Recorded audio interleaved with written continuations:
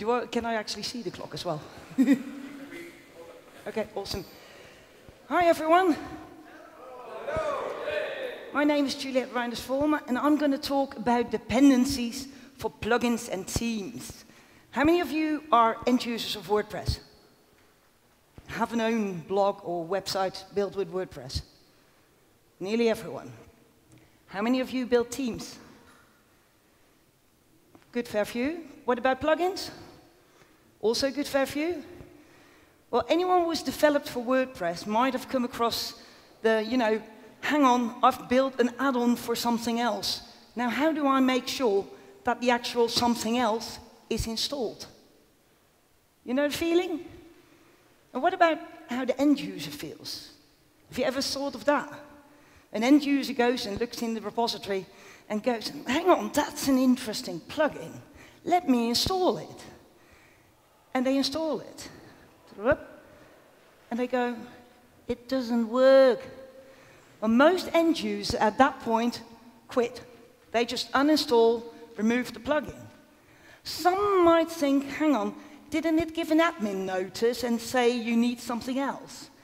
Go back to the repository, search for something else, install something else. Altogether, it's a very frustrating experience. So I think we should solve this. And what sort of dependencies am I talking about? Dependencies between plugins and themes. This might be a child theme which has a parent theme.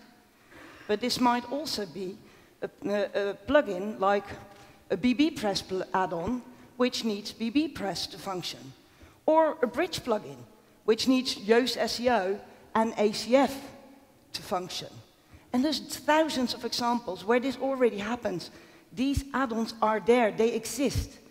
Ignoring them, I think, is a bit silly because we're ignoring a reality. And I know it's not an easy problem to solve. There's quite a lot of complicated factors there. But the fact that it's difficult, does that mean that we shouldn't attempt it? Are we so complacent that we only want to solve the things which are easy? Or should we at least try and make that part of WordPress more user-friendly as well? I envision that if we solve this, we will create a new spring for development of the WordPress infrastructure around WordPress, so themes and plugins. Basically, something like the REST API, which has now gone into core, when that was being developed, for add-on plugins which needed the REST API to be there, it was really difficult to say, hang on, but we need REST API, so you need to install the other plugin before this plugin can work. I envision that if we solve plugin dependencies, that those kind of situations will be easier and that it will actually accelerate creation of new features with new possibilities for something like the REST API, even before it was merged. Sounds good? Okay, now some of the problems we run into when you want to solve it is first of all to make it the most user-friendly, we need to have information available about dependencies before a plugin or a theme is active. How do we do that? Do we add an extra line in the header? But hang on, I mean, if we want a little bit more configurability than just a name of a plugin, that's not enough. We might want to add a minimum version.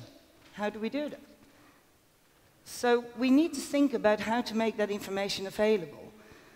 Can we adjust the WordPress API to provide that information? What about dependencies of dependencies? So that's an issue we need to solve. Another issue is figuring out whether something is active. If something is installed, it might have been renamed, the folder might have been renamed by a user. So we, don't, we can't reliably use a slug to determine whether a plugin is active. It might also be installed as a library shipped with another plugin. Again, we cannot use is plugin active to determine whether something is active. And what about must-use plugins? No concept of activation.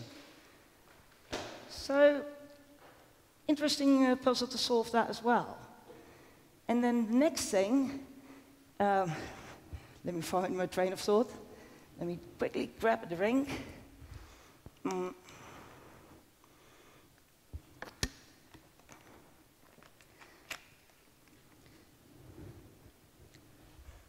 The next thing is that we actually need to make sure that the user interface is user-friendly. How can we make the user experience for this as friendly as possible?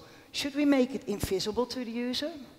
Should we make it visible so they have the responsibility, they know what's going on, but easy? Where do we draw the line? And the short of it is, we need your input for that. There are a couple of projects which have attempted to solve this puzzle. Well, any developer knows about Composer, but Composer isn't really suited for WordPress. Another project which has tried to solve it, and full disclosure, I've been involved with that one, is the plugin dependencies plugin. But for that plugin to work and, and to give information about plugin dependencies, it needs to be active itself. So that doesn't really work at this moment. The next one is TGM plugin activation. Again, full disclosure, I'm involved with that project as well. Um, TGM currently is used by an enormous amount of themes and plugins already. And one of the problems you run into at that point is that you get conflicts between different versions, included with themes and with uh, other plugins. But what th that solves is the installation and the update process for plugins and themes, which are required and dependent on. So there are a number of uh, uh, projects out there, and none of them solve it completely. So what I propose is that we mix and match, pick the best bits out of each of these, and make a hybrid which might be suitable for core. Who's with me? Anyone want to join me in this project? Tomorrow I'm going to be at the Contributors Day, and I very much invite you to join me there. I'd love to discuss what I envision how we can do this together with you, get inspired by your ideas, and maybe work on this together with you to make this happen. Thank you.